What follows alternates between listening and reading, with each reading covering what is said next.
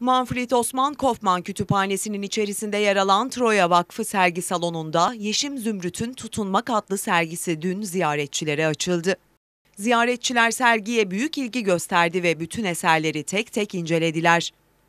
Yeşim Zümrüt, Tutunmak adlı sergisi için kendisinin Çanakkale'ye dair anıları ve imgeleri üzerine kurulmuş bir sergi olduğunu ve sergisinin bugüne dair tutunmamızı sağlayan bir takım duyurular olduğunu söyledi.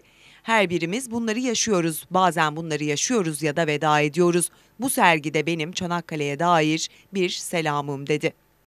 Tutunmak adlı sergi Manfred Osman Kofman Kütüphanesi'nin içerisinde yer alan Troya Vakfı sergi salonunda 30 Temmuz'a kadar vatandaşların ziyaretine açık olacak.